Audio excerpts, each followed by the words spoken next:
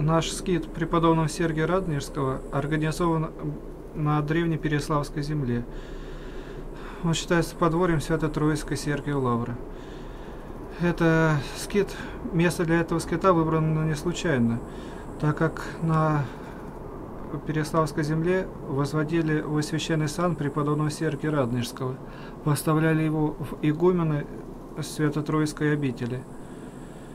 На этой земле родился Александр Невский, собиратель земли.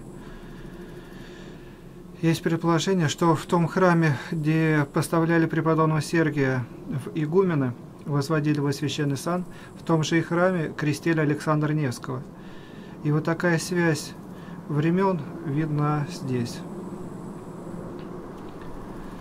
Скит находится в полном уединении, и монахи лавры, которые ищут уединения для молитвы, э, они здесь это находят. Для этого здесь был построен храм, и причем он построен, буквально сказать, в лесу, на берегу Плещеева озера. В этом святом городе, я и даже не оговорюсь, если я называю этот город святым, так как много есть святынь. Мощи преподобного Даниила Переславского, Никиты Столпника Переславского, Никольский монастырь. Вот. И наш скит как-то объединяет, можно сказать, объединяют русскую церковь, молитвенно поддерживают своим молитвенным настроем. Скит преподобного Сергия Ратнежского был здесь построен э, по благословению преснопамятного святейшего патриарха Алексея II и по благословению наместника Лавры, архиепископа Феогноста. В скиту монахи ищут уединения и молитвенного настроя. Но я думаю, преподобный Сергий не оставит меня здесь, на том месте, где его возводили во священный сан.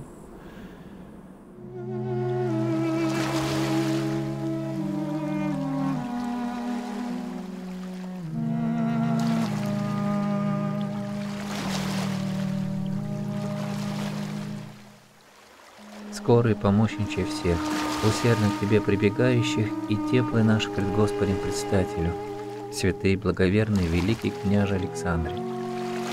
Призри милостивно, а ныне достойные, многими беззаконие и непотребно себе сотворшие, вкратце мощей Твоих ныне притекающие и из глубины сердца к Тебе взывающие.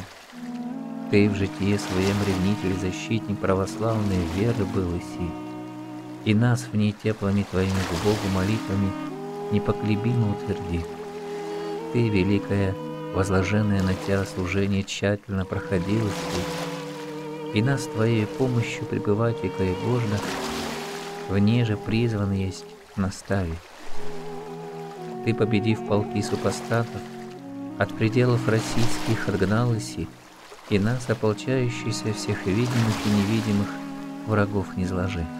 Ты, оставив тленный венец царства земного, избрала себе безмолвное житие, и ныне праведно венцем тленным увенчанный, на небесах царствующий, и сходатайствуй и нам, смиренно молим Тебя, житие тихое и безмятежное, и к вечному царству и шествию неуклонное Твоим предстательством устроено. Предстоя же со всеми святыми престолу Божию, молись о всех православных христиан, да сохранит и Господь Бог своей благодатью в мире, здравии, благоденствии и всяком благополучии должайшее лето. Да присно славим и благословим Бога, в святей славим Бога Отца и Сына и Святаго Духа, ныне и присно и во веки веков. Аминь.